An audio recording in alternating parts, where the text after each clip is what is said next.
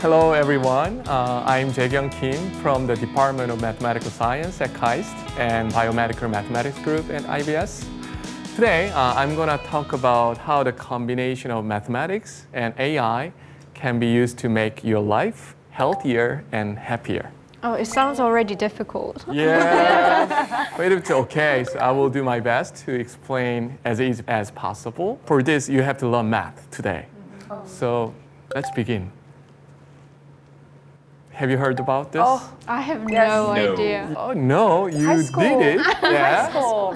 Yeah. Yes. I must have been asleep uh, during Yes. that class.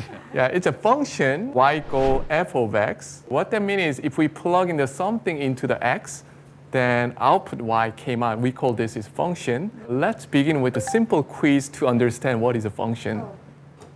Okay. There's a question mark. Can you guess what this should be? Five. Five? Yes. Five, correct?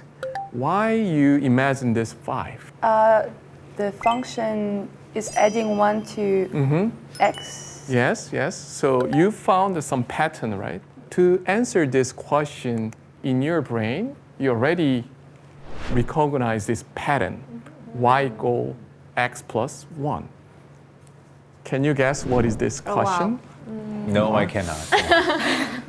Compared to the previous problem, the number of the x is increasing to the 4.